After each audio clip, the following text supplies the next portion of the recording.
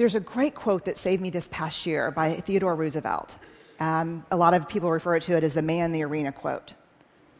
And it goes like this It is not the critic who counts, it is not the man who sits and points out how the doer of deeds could have done things better and how he falls and stumbles. The credit goes to the man in the arena whose face is marred with dust and blood and sweat. But when he's in the arena, at best, he wins, and at worst, he loses. But when he fails, when he loses, he does so daring greatly.